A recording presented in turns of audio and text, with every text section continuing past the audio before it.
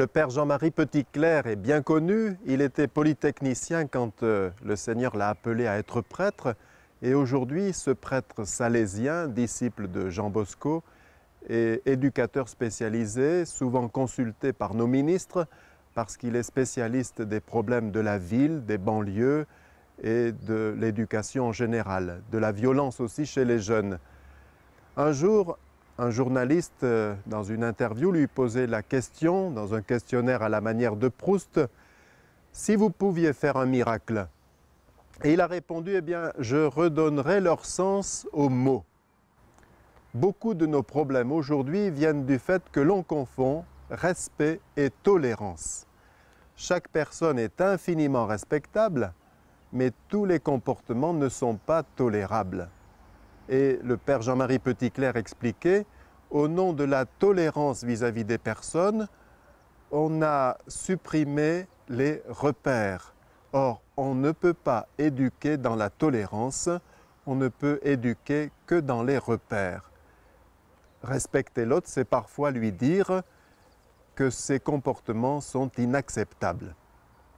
Une vieille histoire juive raconte qu'un groupe d'hommes est sur un bateau et puis voilà que l'un d'entre eux, alors qu'il n'est pas seul, se comporte comme s'il était seul. Une nuit, ses voisins sont effrayés par ce qu'ils le voient faire. Il est en train de percer un trou en dessous de son siège. Alors on se met à hurler, mais tu es fou, tu vas tous nous faire couler. Et il répond d'un air dégagé, je ne comprends pas pourquoi vous vous énervez ce siège est à moi, j'ai payé ma place, je fais ce que je veux. Et cette petite histoire laisse deviner jusqu'où la tolérance pourrait nous conduire. Respecter l'autre, c'est parfois lui dire, mon frère, nous t'aimons parce que toi aussi tu es un enfant de Dieu, mais nous ne pouvons pas tolérer ton opinion, ton point de vue, tes agissements qui vont tous nous faire couler. On le sait, Jésus a eu des mots très durs vis-à-vis de certains comportements, mais on peut dire aussi qu'il a, il a respecté profondément chacun. Le cardinal de Courtrai, qui était aussi académicien, l'a écrit magnifiquement dans son livre Un évêque et Dieu. Je vous lis quelques passages. Jésus, l'homme qui, est l'homme qui n'a jamais respecté les autres comme un autre. Il ne dit pas cette femme est volage, légère, sotte. Elle est marquée par l'atavisme moral et religieux de son milieu. Ce n'est qu'une femme. Il lui demande un verre d'eau et il engage la conversation. Il ne dit pas voilà une pécheresse publique, une prostituée à tout jamais enlisée dans son vice. Il dit elle a plus de chance pour le royaume de Dieu que ceux qui tiennent à leur richesse ou se drapent dans leur vertu ou leur savoir. Il ne dit pas celle-ci n'est qu'une adultère. Il dit je ne te condamne pas, va et ne pêche plus. Il ne dit pas celle-là qui cherche à toucher mon manteau n'est qu'une hystérique. Il l'écoute, il lui parle et il la guérit.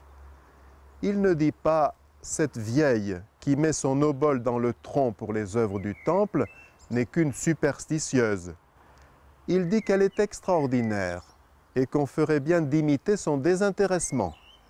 Il ne dit pas ces enfants ne sont que des gosses. Il dit laissez-les venir à moi et tâchez de leur ressembler. Il ne dit pas cet homme n'est qu'un fonctionnaire véreux qui s'enrichit en flattant le pouvoir et en saignant les pauvres.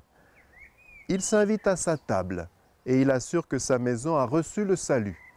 Il ne dit pas comme son entourage, cet aveugle paie sûrement ses fautes ou celles de ses ancêtres. Il dit que l'on se trompe complètement à ce sujet et il stupéfie tout le monde, ses apôtres, les scribes et les pharisiens, en montrant avec éclat combien cet homme jouit de la faveur de Dieu.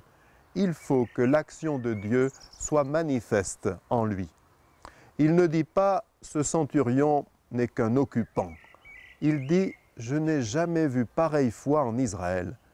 Il ne dit pas ce savant n'est qu'un intellectuel. Il lui ouvre la voie vers une renaissance spirituelle. Il ne dit pas cet individu n'est qu'un hors-la-loi. Il lui dit, Aujourd'hui tu seras avec moi dans le paradis. Il ne dit pas, ce Judas ne sera jamais qu'un traître. Il se laisse embrasser par lui et lui dit, Mon ami. Il ne dit pas, ce fanfaron n'est qu'un renégat. Il lui dit, Pierre, m'aimes-tu Il ne dit pas, ces grands prêtres ne sont que des juges iniques, ce roi n'est qu'un pantin, ce procurateur romain n'est qu'un pleutre, cette foule qui me conspue n'est qu'une plèbe, ces soldats qui me maltraitent ne sont que des tortionnaires. Il dit, Père, pardonne-leur, car ils ne savent pas ce qu'ils font. Jésus n'a jamais dit il n'y a rien de bon dans celui-ci, dans celui-là, dans ce milieu-ci, dans ce milieu-là. De nos jours, il n'aurait jamais dit ce n'est qu'un intégriste, qu'un moderniste, qu'un gauchiste, qu'un fasciste, qu'un mécréant, qu'un bigot. Pour lui, les autres, quels qu'ils soient, quels que soient leurs actes, leur statut, leur réputation, sont toujours des êtres aimés de Dieu. Jamais homme n'a respecté les autres comme cet homme. Il est unique.